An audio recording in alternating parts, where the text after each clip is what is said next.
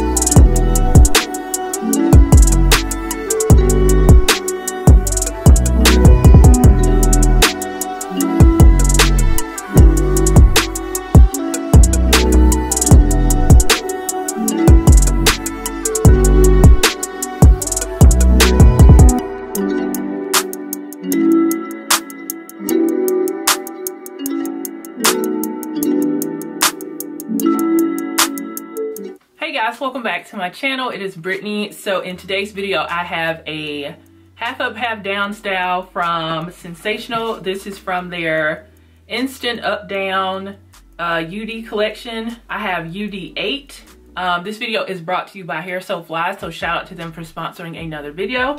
This is going to be pretty short because it's not like a whole bunch to say so the last time I did a ponytail, my hair did not blend well because I didn't have my Style Factor Edge Booster. So off camera today, um, I washed my hair.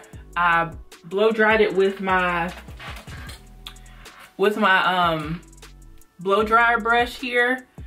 And I also use a hot comb this time. So I did all that and then I used my edge booster. So my, my edges actually do blend pretty well with this hair texture. Yeah, so I did that prep off camera and you guys saw like the, the, way the back of my hair looked and everything before I put this on. And I'm only gonna be showing the half up, half down style with this because I don't wanna do the other styles. Yeah, so I have it in a 1B. My natural hair is a number two, but I wanted to go dark.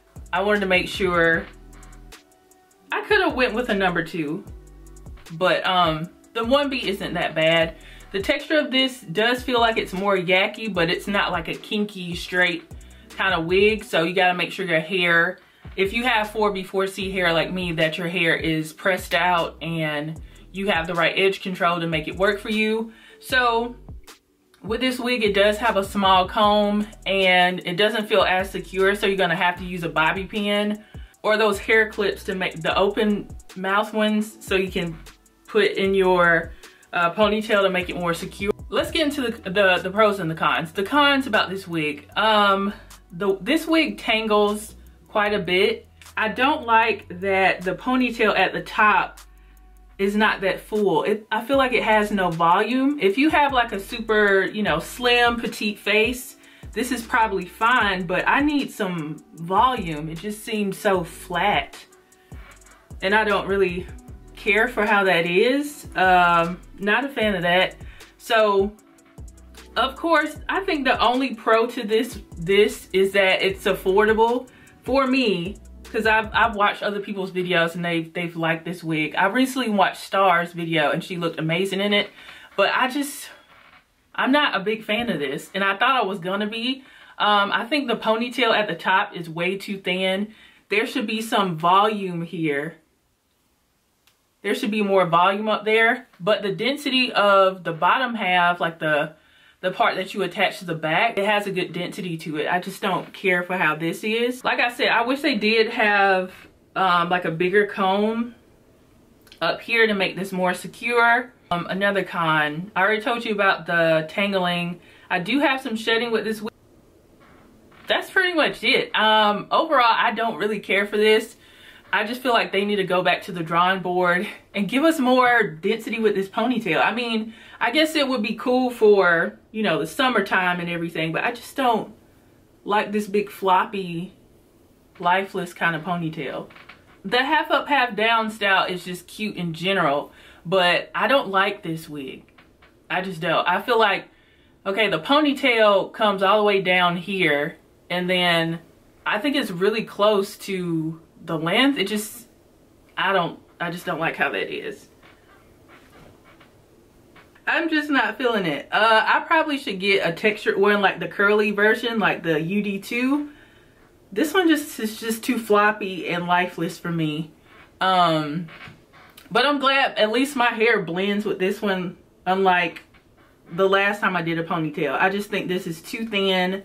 Um, this might work for a lot of people for the summertime and everything, but I just don't like how thin this ponytail is. And I'm not recording this over. This is just not for me. Um, I would give this like a six or a seven, and that's low for me. I just, I'm just not feeling this. But other people have reviewed it and they look great in it. I just, just think it's too thin for me. Not really my, my thing. So if you are interested in UD8, you can head over to HairsoFly and pick it up there. This is just I'm not feeling it and I'm about to take it off. So thank you guys so much for watching and I will see you guys in the next video. Bye guys.